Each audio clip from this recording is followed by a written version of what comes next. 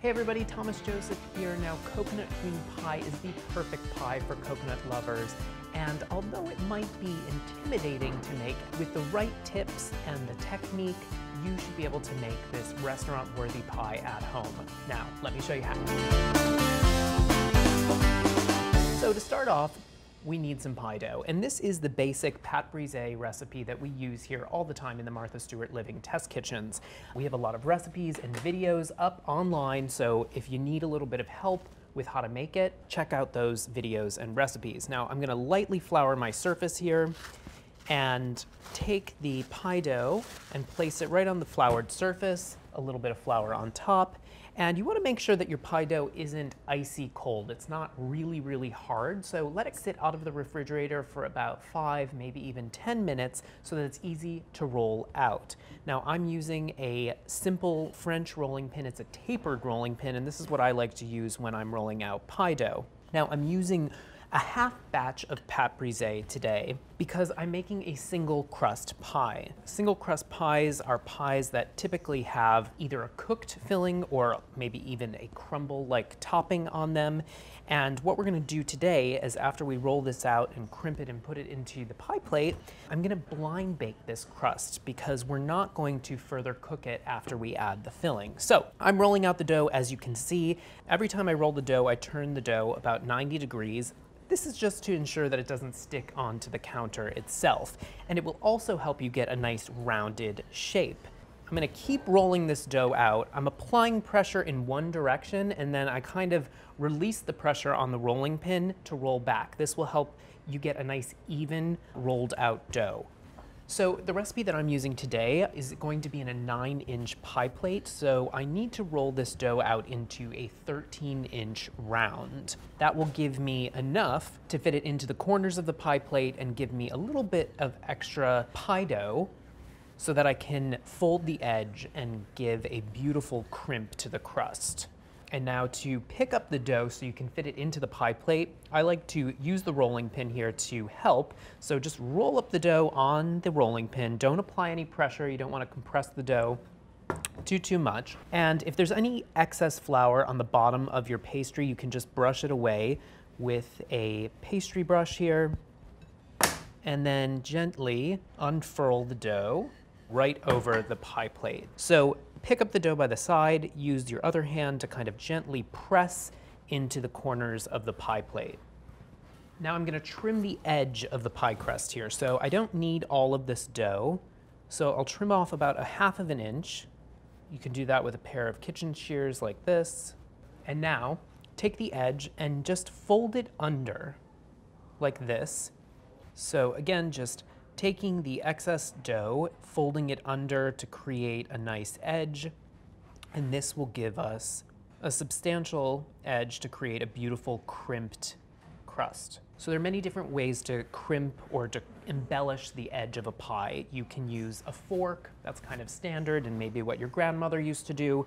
What I'm gonna do today is just use my fingers and pinch the dough into a nice fluted edge. So I take my thumb and my thumb and my pointer finger and just press the dough together. You wanna make sure that this thumb here is kind of exerting a bit of force so that it's really sticking the pie dough down to the lip of the plate. This will help in the baking process so the pie edge won't fall into the baking dish. Since this pie dough has been out of the refrigerator for quite some time and we really want it to bake up and be nice and flaky, I'm gonna pop this into the refrigerator or freezer until it's nice and firm and icy cold before putting it into our oven. So this is going right into the refrigerator.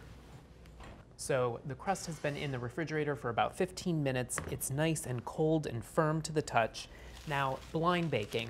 This is the process where we completely bake the crust before we add a filling to it. So I have my oven preheated to 375 degrees. I'm gonna take a piece of parchment paper here, crinkle it up. It just helps to make the paper a little bit softer, more malleable, so that it fits into the corners of the pie crust nicely. Because what we're gonna do, part of the blind baking process, is to bake the pie crust with some weights so that it doesn't bubble up and the pie crust doesn't become misshapen. So this parchment goes right into your crust here. and take some pie weights. I'm using baking beans, but you could use whatever you have on hand. Rice works really well, lentils, beans. You can even buy in some specialty stores little kind of marbles that are meant for blind baking. So you're gonna bake this with the weights in it for 25 to 30 minutes, remove the parchment paper with the beans, and continue to bake until the pie crust is completely set and golden brown, and that will take about 10 to 15 minutes more. So into the oven. Okay, so the pie crust is in the oven, baking up, and now it's time to make the filling. Now, I love a custard kind of pudding-like filling, and that's exactly what we're making here today. So the way that I like to make puddings is doing it in a kind of a one pot method. You don't need to temper yolks, you don't need all these different bowls, everything just goes into one pot. So some granulated sugar. This is a half a cup of granulated sugar and a quarter of a cup of cornstarch. Now cornstarch is really important when you're making a pudding filling like this because this ultimately is the thickener that's gonna give you a filling that will slice nicely in the end. And I like to add it to the sugar here with a whisk so that I break up the cornstarch because cornstarch tends to clump on you so adding it to the sugar and whisking it together breaks up those clumps. I'm also going to add a half a teaspoon of coarse kosher salt. So now I'm gonna add the wet ingredients. This is one and a half cups of coconut milk. You wanna make sure that you're not using light coconut milk because we really want all of that wonderful richness from the full fat coconut milk and we also want the flavor. So I'm just gently whisking this into the dry ingredients here. I don't have the heat on just yet.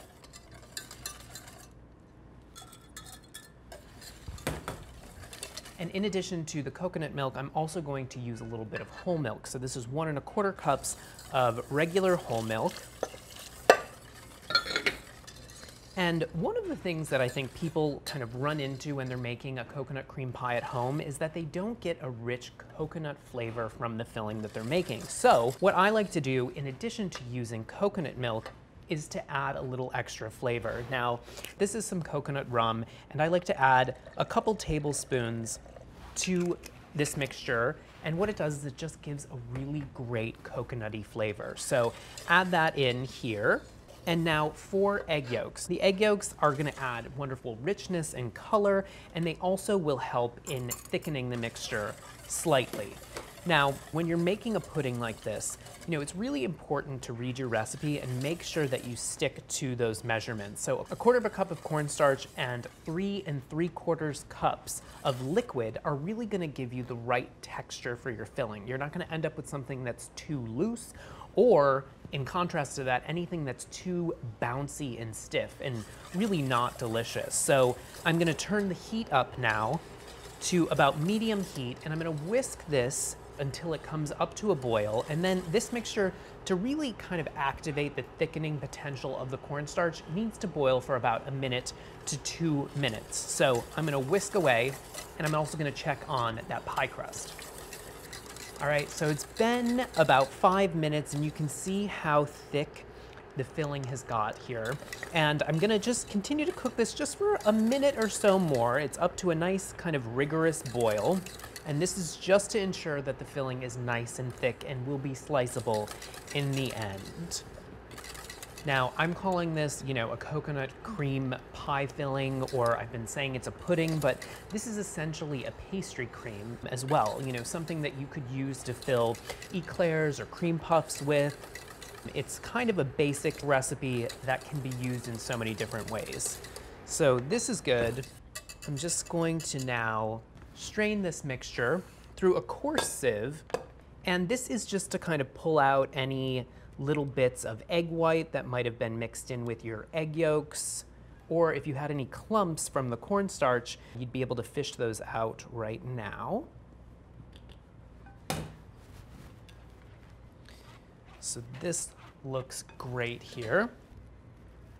And now for even more coconut flavor, I'm going to add a cup of sweetened shredded coconut. I like to toast it because I feel like it really enhances the flavor and gives a nuttiness and even more coconut flavor. So you'll have a filling that's really, really delicious and robust. Now, This is kind of unique. It adds a little bit of texture to your filling. So if you weren't necessarily a fan of having, you know, a bit of chewiness added into the filling, you certainly could add this into your mixture while you're cooking it and then strain it out at the end too. So you get that same great flavor, but you have a kind of a silky filling in the end. I'm also gonna add a little bit of vanilla extract as well. Now vanilla extract really does help to kind of intensify other flavors. Even here with the coconut, it adds really great flavor and helps to intensify the coconutiness of this filling. So stir this together, and now the filling, while it's still warm, is gonna go right into your pre-baked pie shell. This smells so good, guys. I wish you could smell this. You know, another fun thing you could do if you were really interested in doing this, uh, you could add a little bit of maybe chopped chocolate with the coconut at this very end stage and have it melt in and you'd have a chocolate coconut cream pie, which could be really delicious. So now, a piece of plastic wrap right over the top of the filling and just gently press it down onto the filling and this will help prevent a skin or film from forming on the top of your filling. And this is gonna go right into the refrigerator to chill for a few hours until it's nice and firm, and then we'll be ready to top it with some whipped cream and serve it. All right, so the pie has been chilling for about four hours in the refrigerator. I'm gonna remove the plastic wrap. You can see that it's set up nicely here. Now, to top this off, I have a little bit of whipped cream with some confectioner sugar. And I just like to mound this on top of the pie right before serving. You can work the whipped cream out to the edges. You can add as little or as much as you would like. And to top this pie off, and so people know what it is, a little bit of coconut flakes. Now these are unsweetened coconut flakes. You can find them at most grocery stores these days. And if you toast them lightly, they really have great flavor. And just sprinkle that over the top. If you didn't want to go out to the grocery store and buy these coconut flakes, you could certainly just use some sweetened shredded coconut on top too. And now to serve this, I like to use one of these offset serrated knives here. Just give yourself a really generous piece. Now make sure that you really cut through the crust. It should be well baked and crisp. And using one of these handy dandy pie servers, you can serve yourself up a piece of this amazing coconut cream pie. Now, as always, if you have any kitchen conundrums, any baking conundrums, any holiday conundrums, reach out to us using the hashtag kitchen conundrums. We love to hear from you. And we like to see if you guys are making these recipes, so send us pictures as well. Enjoy. The perfect amount of coconut on top. And as always, guys, click like and subscribe.